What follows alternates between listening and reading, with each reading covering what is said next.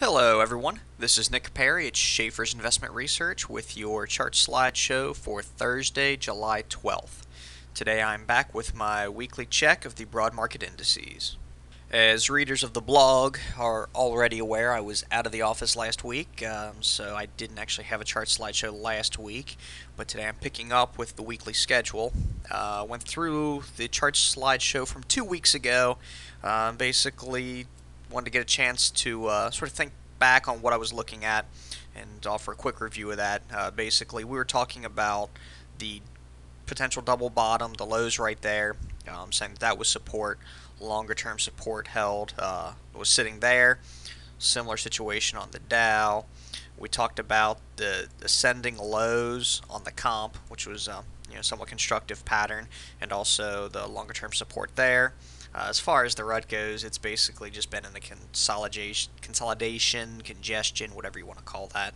The main takeaway was basically we had support in place, short term uh, was being tested, longer term was still below, and the overall takeaway was that uh, you know, the, the overall action still seemed constructive.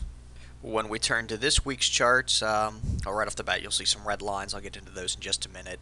Um, but basically, if you just sort of look back, uh, this is where the SPX was sitting when we talked about it last time. Uh, we did see a bounce up. Uh, same thing on the Dow. Uh, the comp actually bounced right off its 50 day and is now moving higher. The rut still stuck in congestion.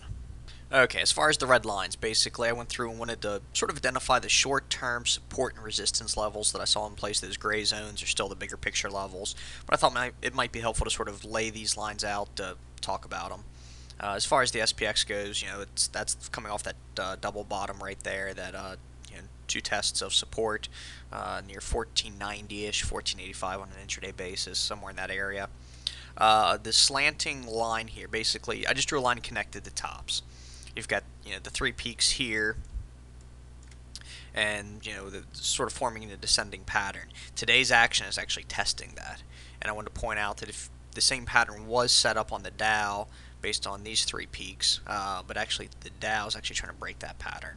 Um, I don't want to get into all the details of you know what the, the implications of it are, you know what what the, these types of patterns are called. I don't I don't spend too much time on that. Basically, what I'm looking at here is the fact that on a short-term basis we've got support here, and we've got this resistance forming. And right now today we're actually trying to break above that. We're testing that right there. So that gives us an interesting test to see how strong um, the demand is. The Dow's already trying to break out, so we'll see if it holds there. So over the next couple of days, that's what I'm going to be watching on the SPX and Dow. When we turn our attention to the comp, we've got a different picture. We've got these ascending lows that we talked about. It's constructive pattern. Each pullback is contained at a higher level. Buyers are a little bit more eager to jump in than waiting uh, for a retest. And as far as, you know, that basically just continues this uptrend. And now we've got these two peaks right here, which is where this red line is drawn off of. Uh, the pullback we saw earlier this week stopped right at that, and now we're seeing a bounce off of that. Again, that's short term uh, in this case very short term, uh, but the overall uptrend is clearly in place, so I think that's uh, you know a constructive pattern for the overall market. Lastly, we've got the rut. Now, the near-term action isn't all too exciting. We've got this back and forth uh, congestion consolidation. That's in the midst of this longer-term congestion consolidation that actually extends past this chart. Uh, so it doesn't look like all too much is going on here. But keep in mind that the rut is actually in a fairly strong longer term uptrend. It's well above its 2000 peak and it's consolidating a lot of those gains. So while the you know the back and forth might be sort of dry to watch on a day-to-day basis, the longer term uptrend there is still definitely intact.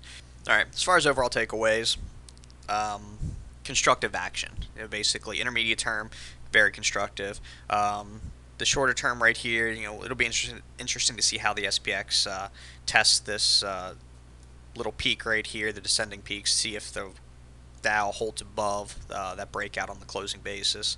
Uh, but even if we do see a pullback here, again, the intermediate term support is still in place.